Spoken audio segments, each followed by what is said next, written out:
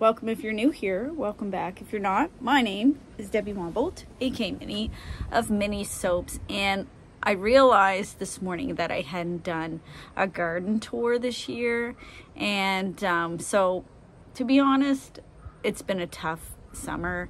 Um, some of you watching this might know, some don't. Um, I ended up getting POTS, uh, postural orthostatic tachycardia from having contracted COVID back in October.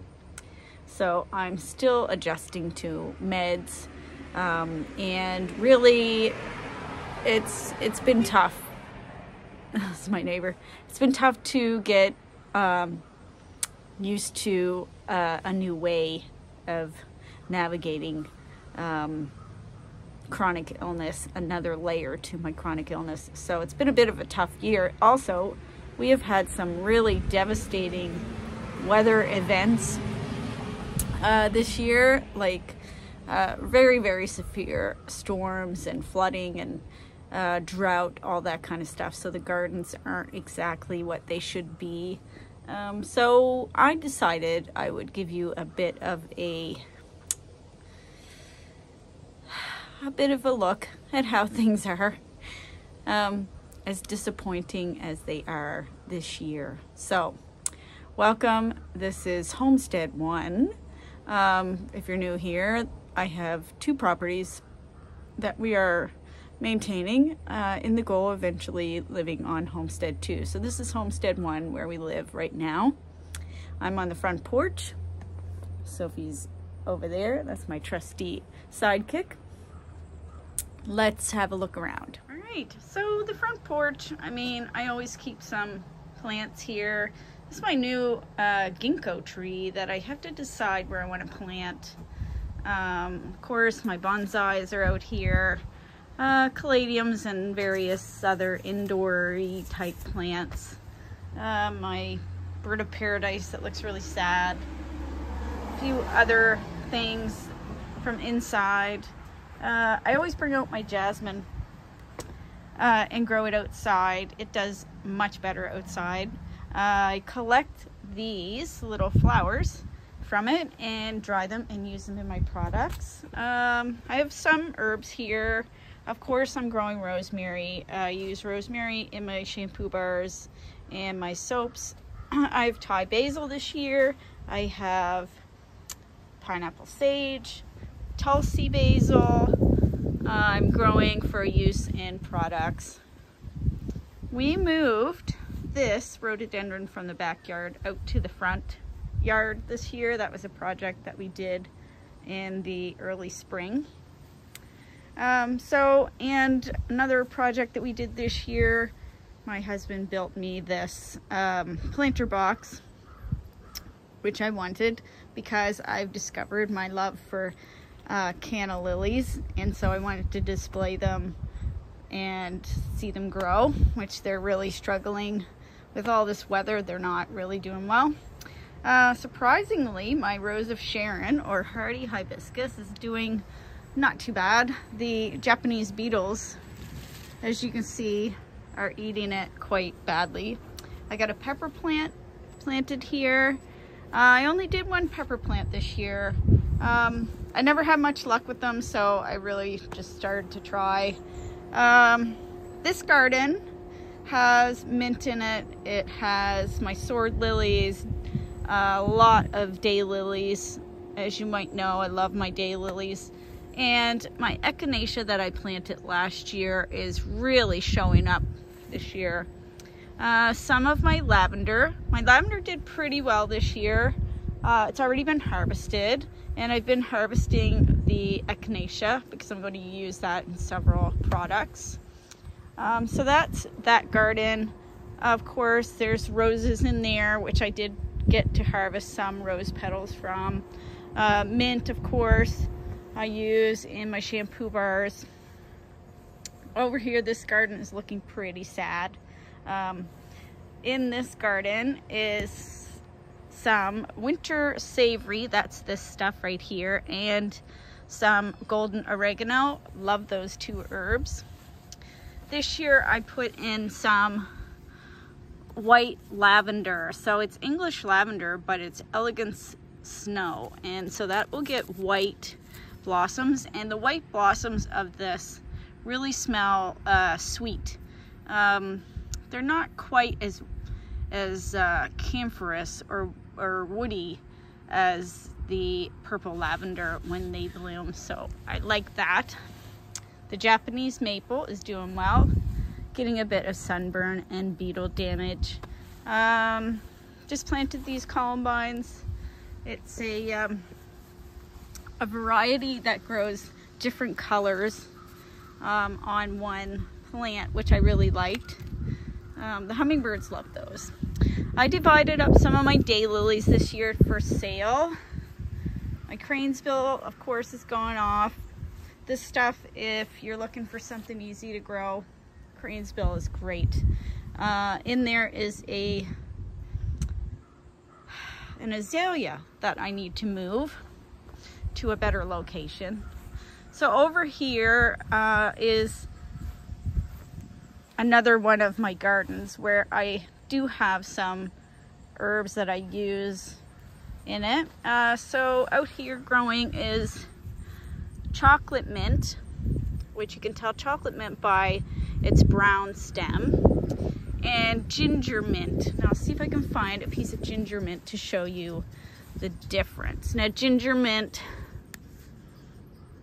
is really spicy. Um, I also planted in here some more of that white uh, lavender, that English lavender, and it's called Ellagance Snow. I really need to get in here and weed. A couple little hostas that I love, the little tiny hostas.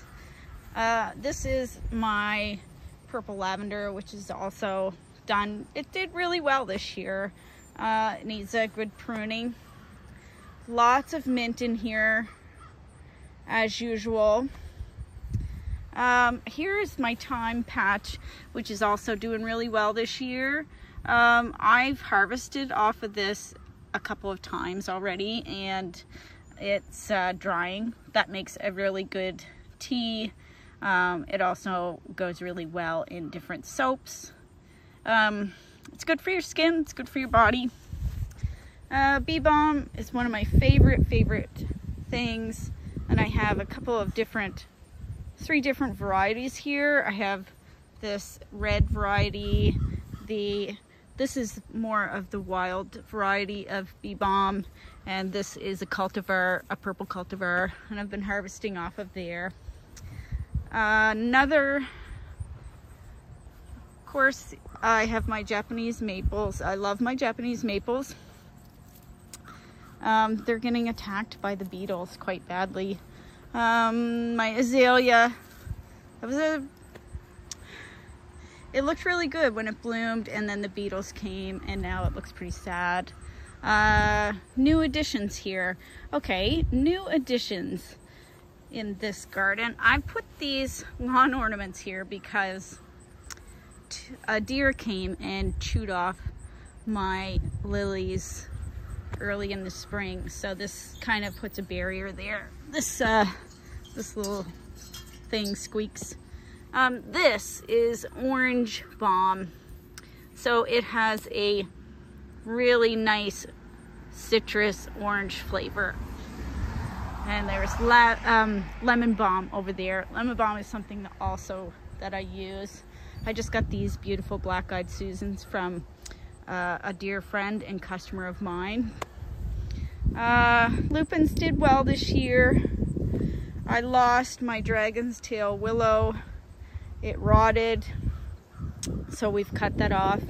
We moved um, this boxwood um, over here, and we also moved my dogwood over here, and I got a tree peony this year so we had to cover up this and take out this whole um, raised bed that was here. There was a raised garden bed here and we had to take that all out, cover it in landscape fabric and uh, just totally dig this whole thing out because we are invaded by these um, sunchokes, but we are also invaded by creeping bellflower.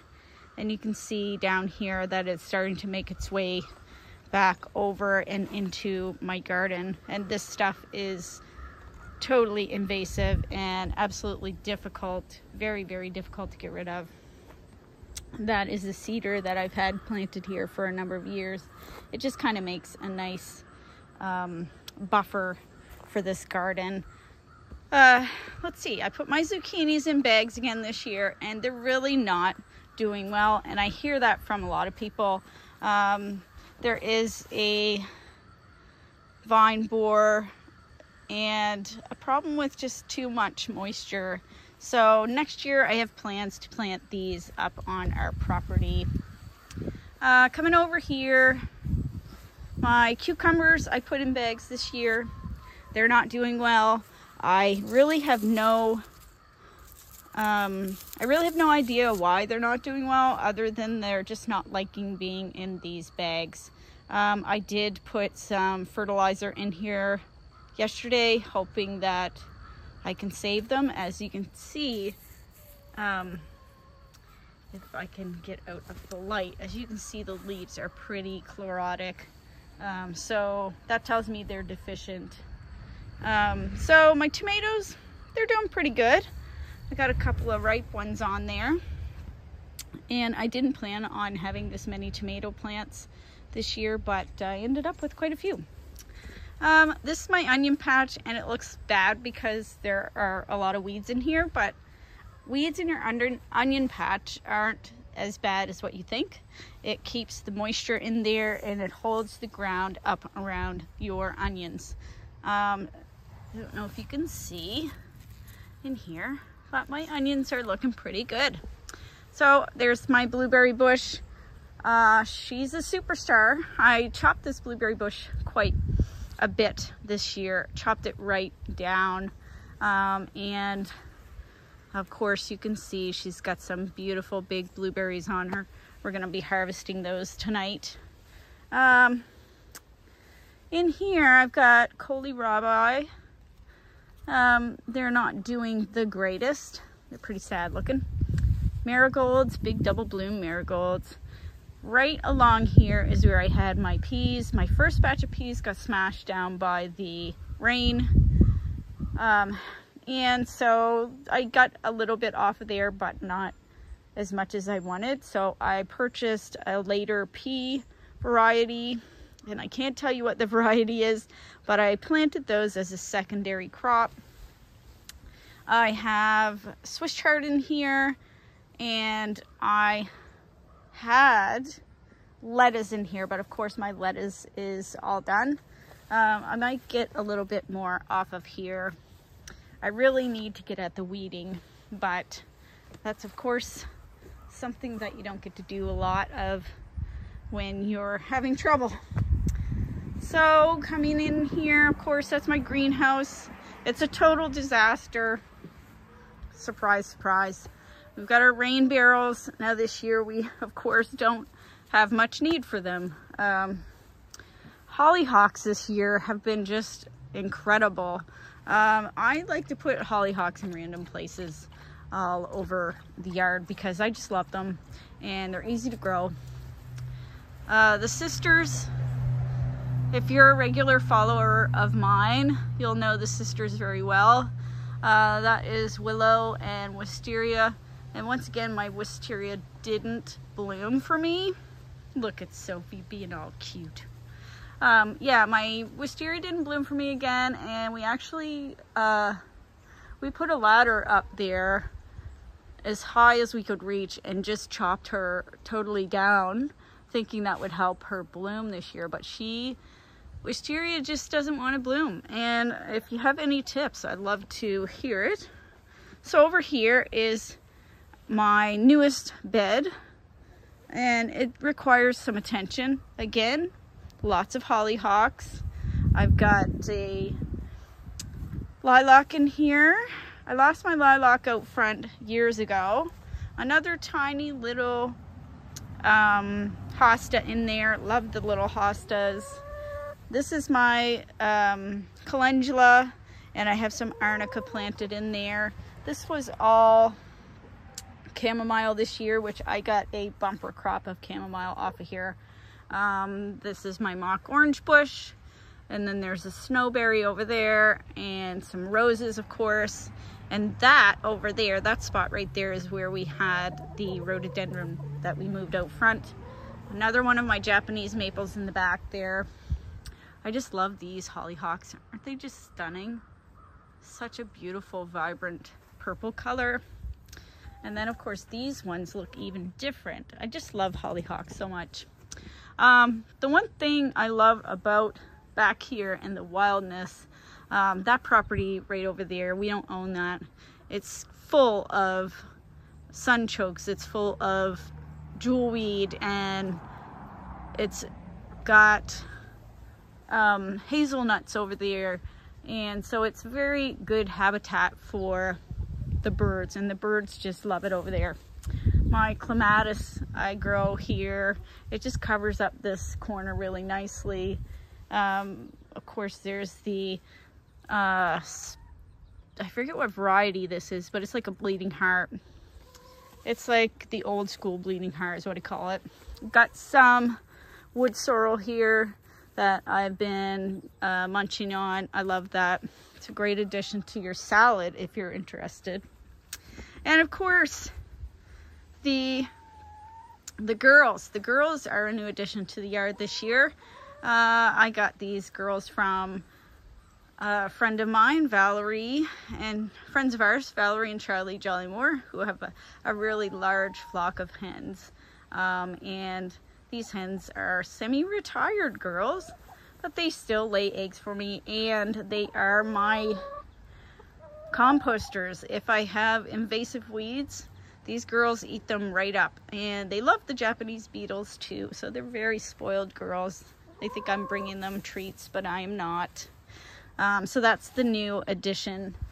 I call it the hen palace in the backyard.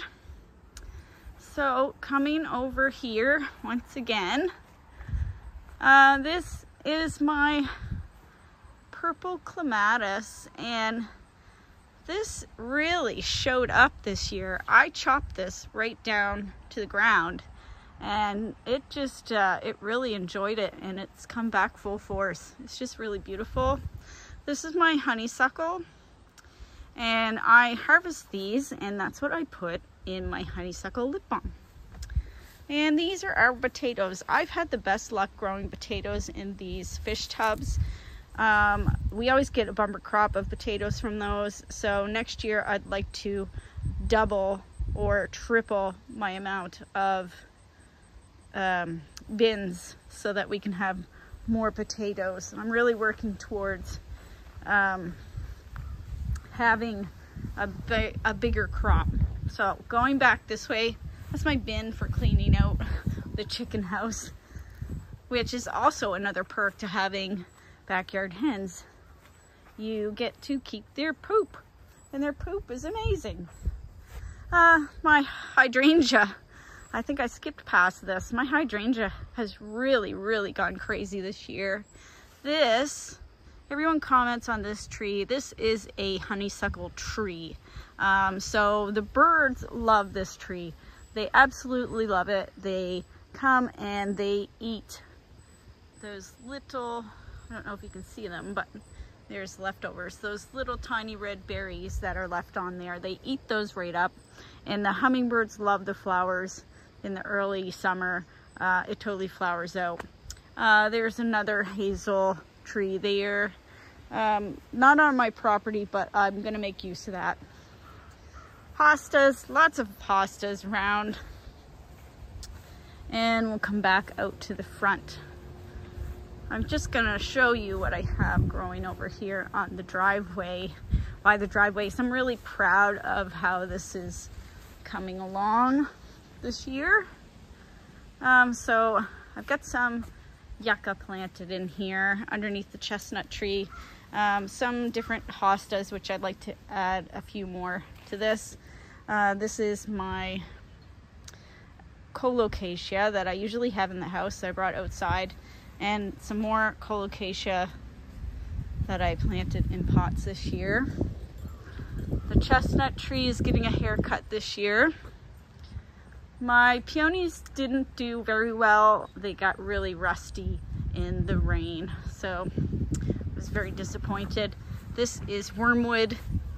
Um, I'm working on a product made from this um, for in the future. And that is about it.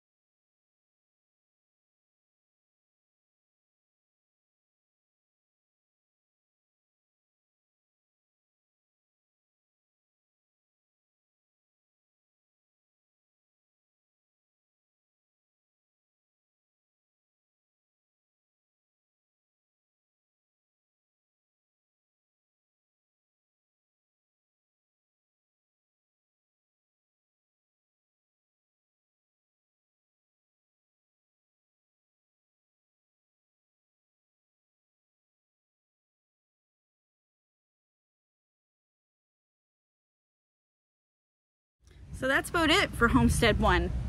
Um, there's a, not as much packed into here as we normally have uh, because we made use of Homestead 2 this year. I'm really pleased with how things are growing up there and I'm going to try to do a garden tour of Homestead 2 um, maybe tomorrow if it's not raining. It's supposed to rain, but we'll see. I'll try to have this edited and put up very soon uh, but one never knows how things are gonna go, right? So I hope you guys are having a great summer. Um, oh yeah, and I chopped my hair up a while ago. It was uh, it's thinning quite a bit, so my vacuum was not liking that, so I chopped it off. So yeah, that's Homestead 1. Hope you guys enjoyed the video.